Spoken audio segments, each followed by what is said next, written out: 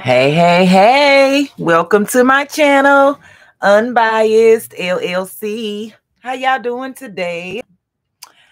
Thank y'all for coming in. Um, today, I will be um, showing you guys how I add ostrich feathers to a prom dress.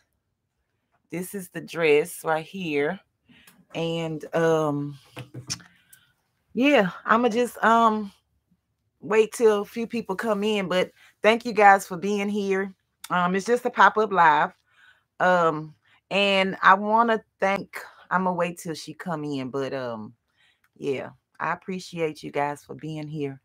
Happy Sunday to you all. Yes, I'm on the floor again, as usual. As usual.